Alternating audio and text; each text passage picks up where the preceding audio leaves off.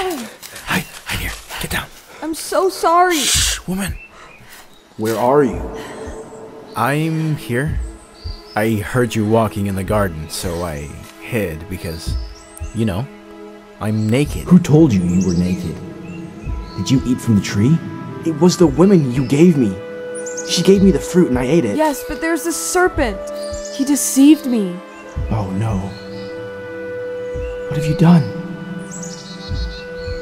So, this is how we lost our precious Eden, our paradise. But God is merciful, and He governs over all things. So He made our father, Adam, live at the western border of the garden. Because there the earth was very broad. And God commanded Adam to live there in a cave inside of a rock. And so it was called the Cave of Treasures.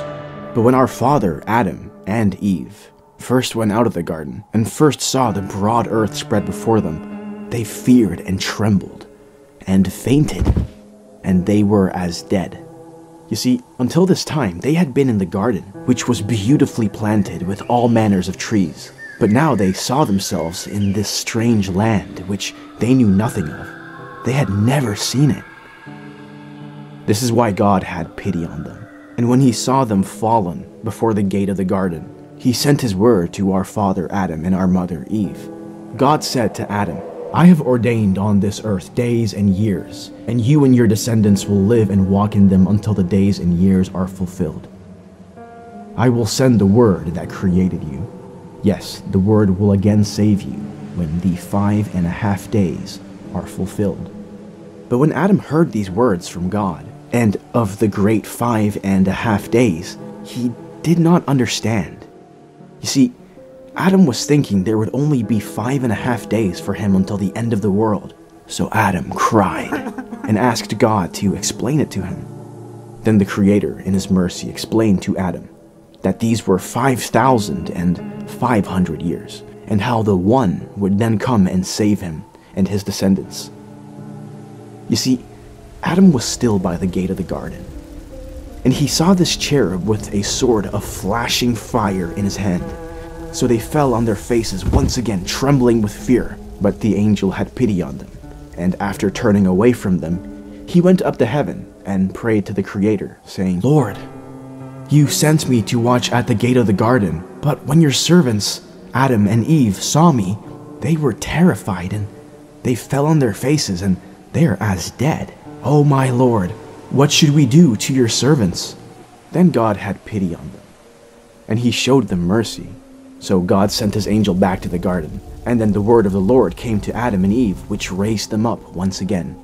The Lord said to Adam, Strengthen your heart. I told you that at the end of the five and a half days, I will send my word to save you. So when Adam heard this word from God, he was comforted, because God had reassured Adam and Eve how he would save them. But Adam and Eve still cried for having come out of the garden. It was their first home. And indeed, when Adam looked at his flesh, it was now altered. So he cried bitterly. And as they walked gently down into the cave of treasures, Adam cried over himself and said to Eve, Look at this cave. This is a prison in this world. What is this compared to the garden? Look at your eyes and at mine. We can't see like we did. Our eyes have become flesh. Adam said again to Eve, What is our body today compared to what it was in the former days? You see, Adam did not want to enter this cave, but he bowed to God's order and said to himself, But unless I enter this cave, I shall again be a transgressor.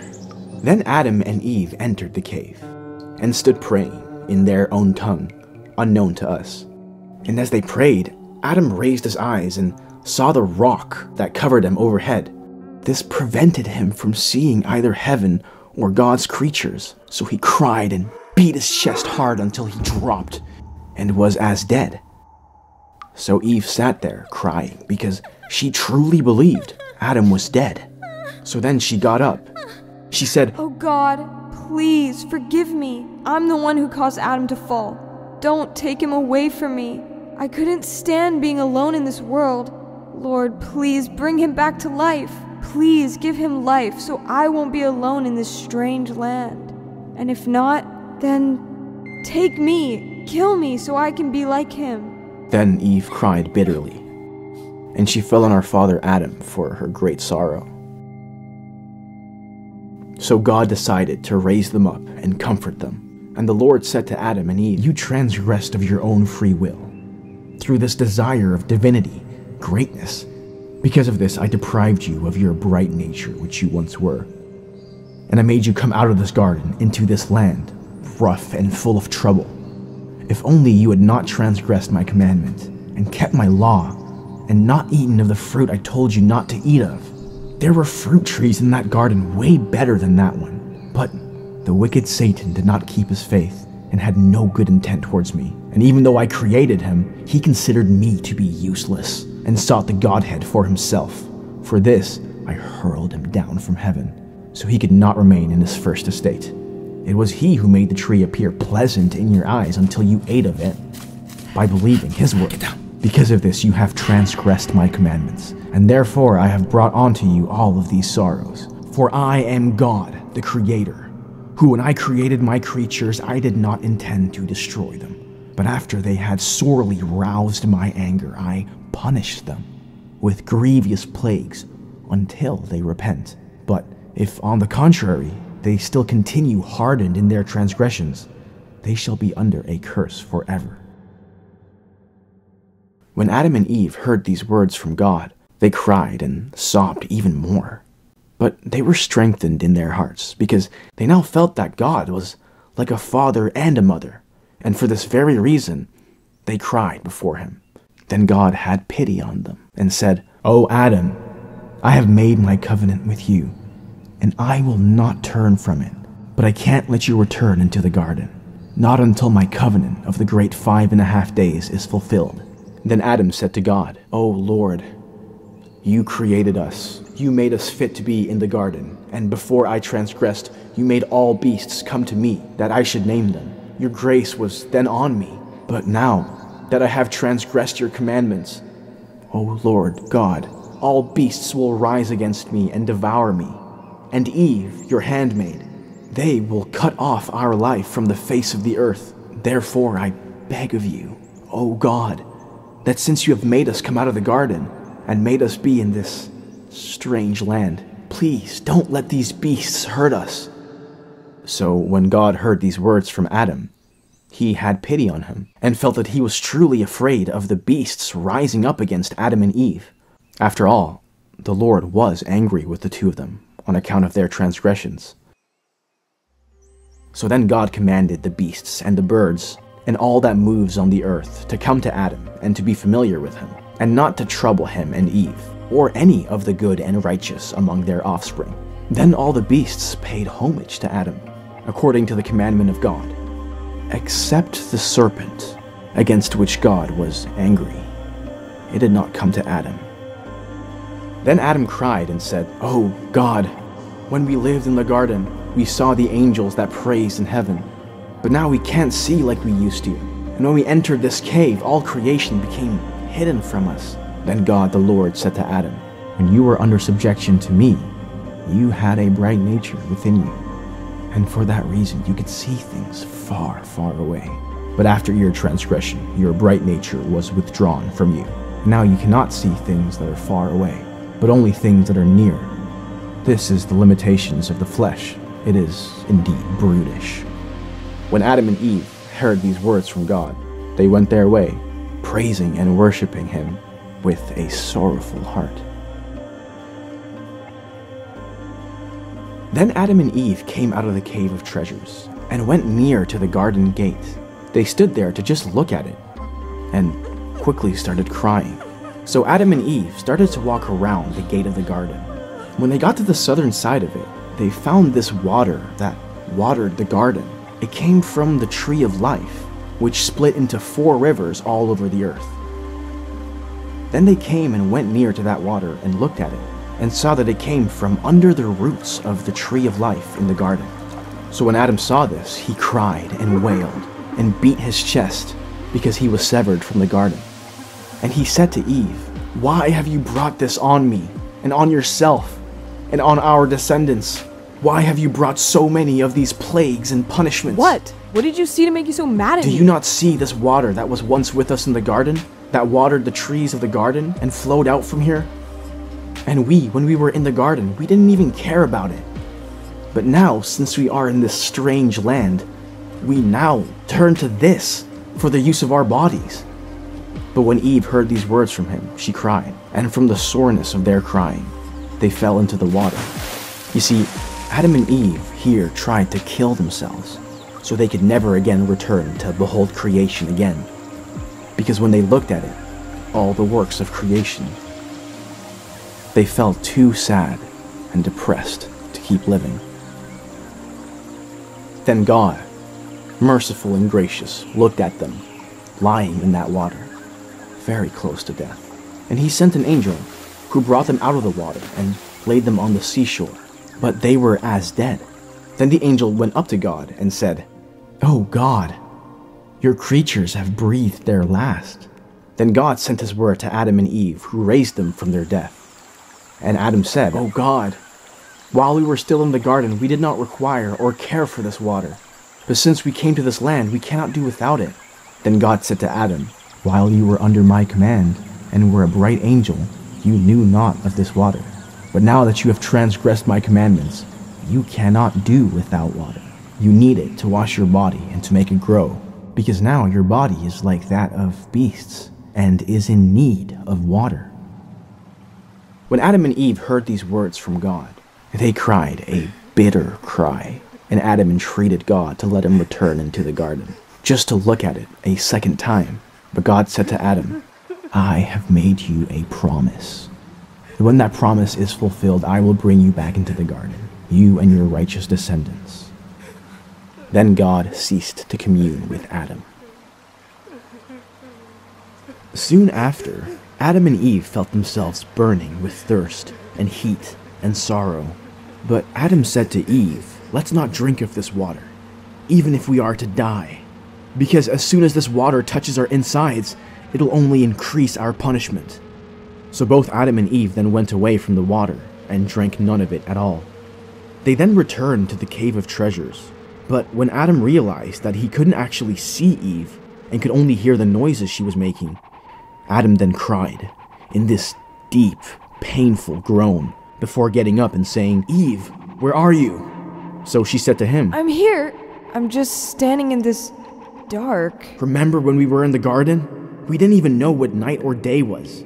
Remember, Eve, the garden land and its radiating brightness. Now all the pleasures of this life has come to an end. Then Adam beat his chest, and both he and Eve mourned for the whole night until the very crack of dawn. Then Adam stood up in the cave and said, Oh God, why did this light leave us? What even is this darkness that covers us? We can't even see each other. When we were in the garden, we never saw or even knew what darkness was. I wasn't hidden from Eve and she wasn't hidden from me. But now, since we came into this cave, darkness has covered us, and it separated us from each other. Oh Lord, why do you turn us into this darkness? When God heard Adam's voice, he said to him, Oh Adam, you know, I once had this good angel, and my bright light rested on him and his hosts. But one day this angel transgressed my commandments, so I deprived him of that bright nature, and he became darkness itself. See, when he was in the heavens, in the realms of light, he knew nothing of darkness, but he transgressed.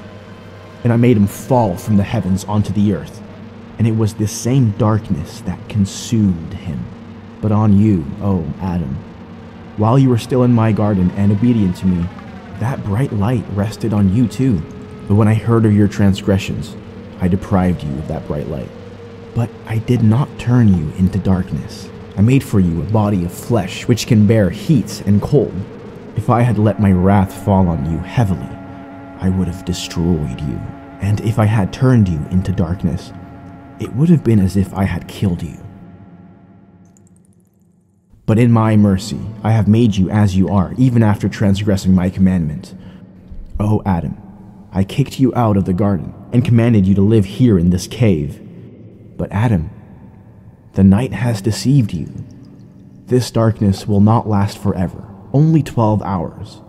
Each day, when it is over, daylight will return. So therefore, do not be afraid, and don't say in your heart that I plague you with this darkness. Strengthen your heart. This is not a punishment. O Adam, I have made the day so that you and your descendants can work in it, and I have made the night so that they can rest in it. But little darkness remains now, Adam. Take comfort, because daylight will soon return. Then Adam said to God, O Lord, please just take my soul. Don't let me see this gloom anymore. I beg you, take me to some place where there is no darkness. But God, the Lord, said to Adam, I promise you, my son, this darkness will pass from you. I have determined every day for you until the fulfillment of my covenant, when I will save you and bring you back into the garden, into the house of light, where there is no darkness, in the kingdom of heaven. Again, God said to Adam, All this misery you have brought on yourself will not save you from the hand of Satan, though, but I will. When I come down from heaven and become flesh of your descendants, I will take unto myself all of your sins, and the darkness that covered you in this cave shall cover me in the grave, once I am in the flesh of your descendants. And I, who am without years, shall be subject to time, and I shall be reckoned as one of the sons of man, in order to save you. And so God ceased to commune with Adam. Then Adam and Eve cried because of God's words to them. They lamented over the fact that they would not be able to return to the garden until the fulfillment of these days, but they cried mostly for God, who had told them that he would now suffer for their salvation. After this, Adam and Eve continued to stand in the cave, praying and crying, until the morning dawned on them. And when they saw that the light had returned to them, they regained their courage and strengthened their hearts. Then Adam began to come out of the cave. But when he came to the very entrance and turned his face towards the east, and saw the sun rise in glowing rays and felt its radiating heat, he was afraid of it. He was terrified. He thought to himself that this flame was there to plague him. He cried to himself and fell to the ground. Oh Lord, please don't plague me, and don't take my life away from this earth. Right in this moment, Adam actually thought that the sun was God, because while he was in the garden, Adam could never actually see the sun, and neither could he feel its flaming heat. Therefore, Adam was terrified of the sun. He thought God meant to burn him for all the days that he had decreed for him. Adam even thought to himself, if God did not plague us with darkness, then he must have made the sun to plague us with burning heat. But while he was panicking, the word of God came to him and said, Oh, Adam, get up on your feet. The sun is not God. It has only been created to give light by day. I told you, each morning the light will return.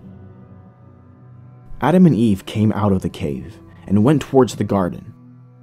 But as they went near it, before the western gate, where Satan came and deceived them, they found the same serpent just lying at the gate, pitifully licking the dust and wiggling on the ground. And where before this serpent was the most exalted of all beasts, now it was changed, and it became slippery it had even become venomous, all because of God's curse. When this cursed serpent saw Adam and Eve, it swelled its head, stood on its tail, and with its eyes blood red, acted like he would kill them. It went straight after Eve, and while Adam was standing by, he cried because he had no idea how to even put this thing to death. So, with a burning heart for Eve, Adam approached the serpent and held it by the tail it then turned towards him and said, Oh, Adam, because of you and Eve, I am slippery, and I now go on my belly. Then, with its great strength, it threw down Adam and Eve and squeezed them, and it tried to kill them.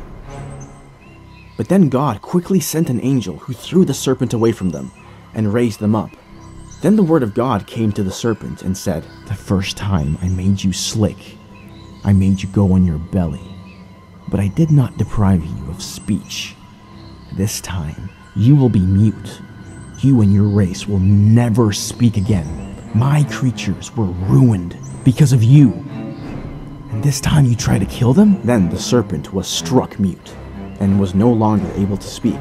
And then this mighty wind blew down from the heavens by the command of God and carried away the serpent from Adam and Eve and threw it on a seashore where it landed in India. But Adam and Eve cried before God, Oh God, I told you back in the cave that the beasts of the field would try and devour me and cut my life off from this earth. Oh Adam, not one of these beasts will be able to hurt you. I made all the beasts and all other moving things come to you in the cave. But I did not let the serpent come to you, because it might have tried to kill you way back then. I knew that the cursed one was wicked. That's why I just wouldn't let it come near you with the other beasts. But now, strengthen your hearts, and don't be afraid, because I am with you till the very end of your days. Then Adam and Eve worshipped before God and gave him thanks, and praised him for having delivered them from death. But when Satan, the hater of all good, saw how they continued in prayer, and how God communed with them and comforted them, Satan became jealous, and he made an apparition. In his hands was a flashing light, and around him were his hosts, surrounded by a great light. He then placed his throne right at the entrance of the cave, but he could not go any further. So Satan shed light into the cave until the cave lit up around Adam and Eve, all while his hosts began to sing praises. You see, Satan did this so that Adam would think to himself that this was a heavenly light, and that Satan's hosts were angels. He wanted him to think that God had sent them to watch over the cave, and to give him light in the darkness. So Adam came out of the cave, and after seeing this, both Adam and Eve bowed to Satan. But trembling, Adam said to Eve, Look at that great light, and at those many songs of praise, and at all these hosts standing outside who won't come into our cave. Why don't they tell us what they want, where they're from, or what the meaning of this light is? Why won't they come in? So Adam stood up and prayed to God with a burning heart and said, O Lord, is there another God besides you, who created angels and filled them with light? We can see these spectacular lights. Yes, it's great indeed. They even sing loud praises. But if they are from some other god than you, then please tell me. And if they are sent by you, then tell me why you sent them. As soon as Adam said this, an angel from God instantly appeared to him in the cave. And he said to him, Adam, don't fear, but this is Satan and his hosts. He's trying to deceive you like he deceived you at first. You see, the first time he was hidden in the serpent, but this time he has come in the appearance of an angel of light, so that you would ultimately worship him in the very presence of God. The angel then seized Satan and stripped him of all of his false light, and then revealed his true hideous form to Adam and Eve, who were now terrified once they saw him. And the angel said to Adam, He has been in this hideous form ever since God made him fall from heaven. He knew it would just freak you out. That's why he transformed himself into an angel of light. Then the angel drove away Satan and all of his hosts from Adam and Eve, and he said to them, Fear not. God who created you will strengthen you. And then the angel left them. But Adam and Eve remained standing in the cave, dumbstruck, and no consolation came to them. So once it was morning, they simply prayed and then left the cave, headed for the garden. But when the crafty Satan saw them, he gathered together his hosts and came to them in a vision, again trying to deceive them. But when Adam and Eve saw him in a vision, they thought they were angels of God who had come to comfort them. So Adam spread his hands before God, begging him to make him understand what this was. So Satan, the hater of all good, said to Adam, O Adam, I am an angel of the great God. Look at all of these magnificent hosts that surround me. God has sent us to take care of you and to bring you to the border of the garden so I can raise you back to your former glory, so you can once again return to the garden. You see, these words sank into the heart of Adam and Eve. But God didn't say anything, because he wanted to see Adam's strength, whether he would be as easily fooled as Eve. So Satan called to Adam and Eve and said, Let's go to the sea of water God commanded us to take you to the sea so I can bathe you in it and return you to your former glory. Follow me. Let's go to the sea of water. And Adam and Eve began to follow him. And once they came to this high mountain, a very high mountain, the devil drew near to Adam and Eve and started to deceive them with his little mind tricks. You see, Adam and Eve were unknowingly walking all the way to the top, and Satan wished to throw them down and kill them, so he could wipe off their name from the face of the earth he so desperately wanted for himself. But when the merciful God saw how Satan wished to kill Adam with his mind tricks, God spoke to Satan in a loud voice and cursed him. Then he and his host fled, and Adam remained standing on top of the mountain, all alone. So they cried, both Adam and Eve. But then the word of God came to Adam, and it said to him, Know and understand this concerning Satan. Ever since the garden, he will now continually be seeking to deceive you and your descendants. So Adam cried before the Lord because the reality of life after the garden was now truly sinking in. So Adam begged God to give him something from the garden, as a reminder, as a token to him, so he can at least be comforted from all of these horrors. And God considered Adam's request, and then sent the angel Michael to find golden rods to bring them to Adam. God did this so these rods of gold would shine in the night around them, and put an end to his fear of the darkness. After that, God commanded the angel Gabriel to go down to the garden and find some sweet smelling incense so he could give it to Adam. And so Gabriel went in and found some incense. Then God commanded his angel Raphael to go down to the garden and find some myrrh to give to Adam.